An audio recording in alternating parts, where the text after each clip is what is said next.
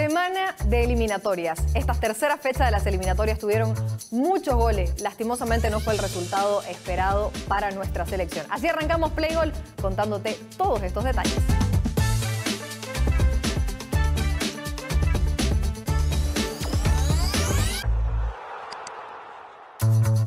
Una derrota que duele y nos lleva a la historia.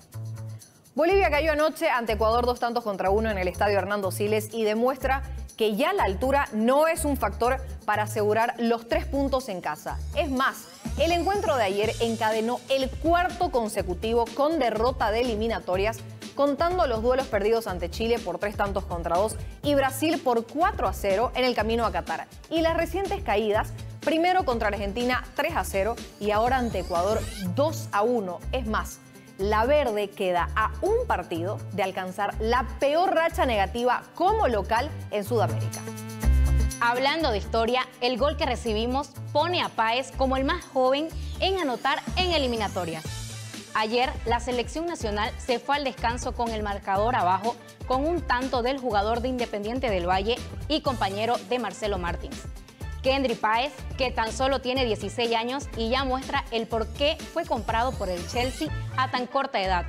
Con el gol que anotó, Páez se convirtió en el jugador más joven en anotar un gol en eliminatorias sudamericanas con 16 años y 161 días, superando al paraguayo Gustavo Nefa, jugador que anotó con 17 años y 325 días en 1989. Es más, si contamos la historia de todas las eliminatorias, más allá de cualquier confederación, Páez es el segundo más joven de la historia del mundo.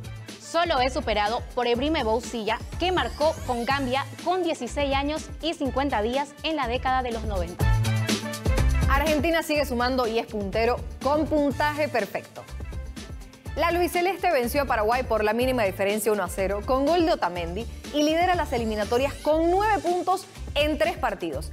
Este puntaje perfecto de arranque no lo lograba desde el 2007 en el camino a Sudáfrica cuando empezó su participación con triunfos contra Chile, Bolivia y Venezuela. Además, el triunfo argentino dejó datos interesantes, como que Nicolás Otamendi se reencontró con el gol en su selección desde el 2016, cuando le marcó a Venezuela en las eliminatorias a Rusia, y que Lionel Messi alargó su racha positiva jugando en cancha de River con 19 victorias y 5 empates sin conocer una sola derrota. De la alegría al récord del Dibu Martínez, Seguimos con Argentina y es que cabe recordar que el albiceleste acumula siete vallas invictas como local en las eliminatorias y queda como la tercera racha más larga de la historia de la competición, solo por debajo de los ocho de Perú en la década de los 60 y las nueve de Brasil que cortó en el 2021. Además, el Dibu Martínez se convirtió en el guardameta con mayor tiempo sin que le conviertan goles. Lo consiguió al superar los 606 minutos que registraba el Mono Burgos el marplatense que ya suma 622 minutos sin que le conviertan y ya estableció un récord en su país, no recibe goles desde que el que le marcó Kylian Mbappé en la final del Mundial en Qatar. El clásico del Pacífico se quedó en Santiago. Chile superó 2 a 0 a Perú con tantos de Valdés y López en contra, después de un primer tiempo sin goles, y suma su primera victoria en esta eliminatoria. Además, alarga una racha positiva frente a su rival de turno y es que nunca perdió ante los incaicos como locales. En 11 enfrentamientos, con 9 victorias y 2 empates. Además, si contamos el 0 a 0 con Australia por el repechaje fallido a Qatar, Perú suma por primera vez en su historia cuatro partidos consecutivos sin marcar goles en eliminatorias. Yoshimar Yotul fue el último en celebrar con su selección en marzo del año pasado con Paraguay. Si no marcas goles, el Mundial se ve lejano. Perú no es la única selección en no marcar en las primeras tres fechas de esta eliminatoria. Paraguay tampoco lo ha conseguido en este arranque de camino de la Copa del Mundo del 2026. Con ambos países existe un total de 83 selecciones que empezaron su eliminatoria sin marcar en los primeros tres duelos, pero de esas 83 solo una pudo clasificarse al Mundial. Fue Irlanda que consiguió el boleto a Italia 90. ¿Podrán sumarse a la cita en Estados Unidos, México y Canadá? El día arrancó con el empate de Colombia de local. Parecía que se aseguraba la victoria, pero Colombia se dio puntos y empató 2 a 2 ante Uruguay. James Rodríguez abrió la cuenta en el primer tiempo. Empató Olivera. Uribe volvió a poner arriba a los cafeteros y un penal de Darwin Núñez en el minuto 90 silenció Barranquilla. Aún así, los dirigidos por Lorenzo acompañan a Brasil y Argentina en el selecto grupo de los que no perdieron aún en esta eliminatoria. Un triunfo en casa contra Venezuela y dos empates de visitante sellan la racha que los ubica terceros en la tabla. La sorpresa de la fecha tuvo color vino tinto.